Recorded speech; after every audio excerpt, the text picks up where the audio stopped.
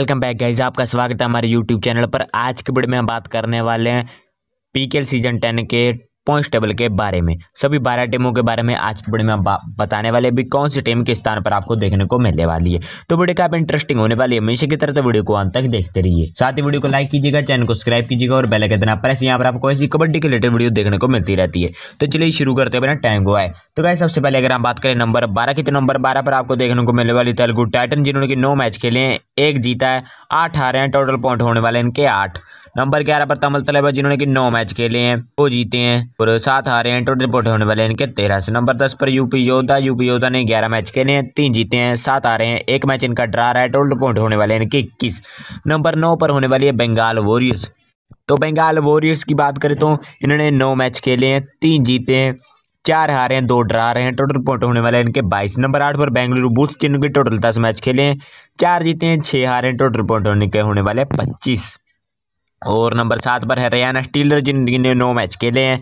पाँच जीते हैं, चार हारे हैं, टोटल पॉइंट छब्बीस। नंबर छः पर आपको युम्बा देखने को मिलने वाली, जिन्होंने कि सात मैच खेले हैं, पाँच मैच जीते हैं और दो मैच इन्होंने हारे हैं और नंबर इनके पॉइंट, टोटल पॉइंट होने वाले छब्बीस। नंबर पाँच पर पटना पैर, जिन्होंने कि नौ मैच खेले हैं, पाँच जीते हैं, चार हारे हैं, टोटल पॉइंट होने वाले इनके सताईस। और नंबर चार पर तो दिल्ली नौ मैच खेले हैं, पाँच जीते हैं, तीन हारे हैं और एक मैच इनका ड्रा रहा है, टोटल पॉइंट होने वाले इनके तीस। और गाइस नंबर तीन पर जयपुर पिंक पैंथर जिन्होंने कि नौ मैच खेले हैं। पाँच इन्होंने जीते हैं, दो हारे हैं, दो डरा रहे हैं। टोटल पॉइंट होने के होने वाले हैं तैतीस। नंबर दो पर गुजरात हैं, जिन्होंने कि दस मैच खेले हैं छः जीते हैं, चार हारे हैं। टोटल पॉइंट होने के होने वाले हैं चौंतीस।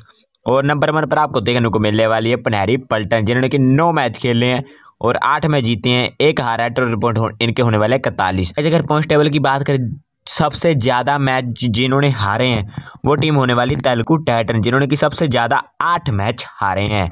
और सबसे ज़्यादा कम मैच हारने वाली टीम होने वाले पनेरी पल्टर जिन्होंने कि सिर्फ़ एक मैच हारा है।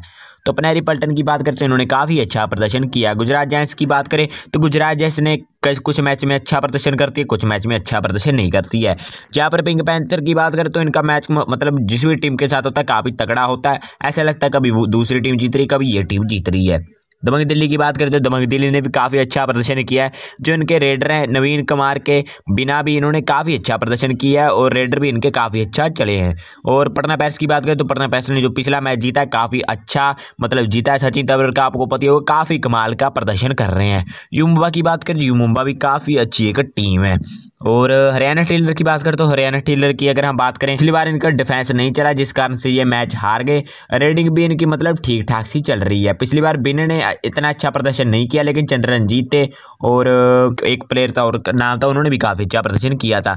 बेंगलुरु बुल्स की बात करें तो बेंगलुरु बुल्स भी काफ़ी मतलब बैलेंस टीम है, लेकिन जो इनके डिफेंस है डिफेंस तो ठीक ठाक से चलता है, लेकिन रेडी में थोड़ी सी कमी दिख रही है, जैसे भरत उल्टा नहीं चल रहे हैं। कभी कभार विकास कंट्रोलर भी इतना अच्छा प्रदर्शन नहीं कर पा रहे हैं। उसके बाद अगर हम बात करें बंगाल वोरिस की तो बंगाल वोरिस का डिफेंस तो काफ़ी अच्छा रहता है, लेकिन डिफेंस में ज़्यादा गलतियाँ करते हैं। मतलब थोड़ा सा आगे आके टैकल करने की कोशिश ज़्यादा करते हैं, जिस वजह से जो पॉइंट है मतलब लूज़ करते रहते हैं। पिछले साल भी इनकी यही प्रॉब्लम थी मतलब जो डिफेंस है पॉइंट लूज़ बहुत करता है। जिस कारण से टीम हार जाती है। रेडी में काफ़ी अच्छा मतलब प्रदर्शन होता है। श्रीकांत यादव भी अच्छा कर रहे थे मनिंदर सिंह भी और जो एक और प्लेयर रेतन रावल वो भी काफ़ी अच्छा प्रदर्शन करते हैं। उसके बाद यूपी योद्धा की बात करें तो यूपी योद्धा में प्रदीप नरवाल तो हैं लेकिन उनको स्पोर्ट रेटर के तौर पर कोई इतनी मदद नहीं मिल रही है और कुछ डिफेंस भी मतलब इनका इतना अच्छा प्रदर्शन नहीं कर रहा है। तमल तलेबाज की बात करें तो मतलब ये टीम तो मतलब काफ़ी अच्छा प्रदर्शन करती है, एक दो पॉइंट से कभी कर पाँच, चार पॉइंट से हार जाती है। और इस टीम में काफ़ी ज़्यादा चेंज भी हो मतलब हार जाती है टीम तमल बस पिछली बार सीज़न काफ़ी अच्छा प्रदर्शन किया था, इस बार मतलब इतना अच्छा प्रदर्शन नहीं कर पाई।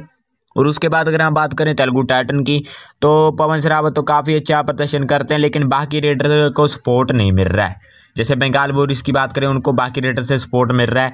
ऐसे मतलब तेलुगु टाइटन को सपोर्ट नहीं मिल रहा है। और डिफेंस भी मतलब इनका तगड़ा नहीं चल रहा है। डिफेंस भी गलतियाँ करता है। अगर हम बात करें टीम काफ़ी अच्छी खासी है तेलुगु टाइटन लेकिन इतनी अच्छी मतलब वो नहीं बनाई गई है।